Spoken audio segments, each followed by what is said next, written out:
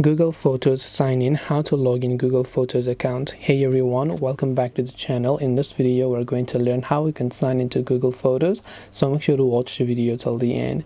Now signing into Google Photos is very simple. If you're talking about the Google Photos app if you are logged in on your Android then that Google Photos account will also get automatically logged in. So there's really nothing that you might have to do separately in order to make this figure out. You can just log in using your normal account details over here right? Now other way is if you want to log on your browser instead then just open up a new tab and make sure on your browser also you are logged into your google account. Then you just have to go to photos.google.com so photos.google.com is a website to access google photos on the web. So you can just go there and after you've done that you'll be able to log into your google photos account or your google account and you'll find all the photos that you have backed up. So i hope that this video helped you. If you have got any more questions then feel free to leave them down below. Thank you for watching till the end and see you soon in the next video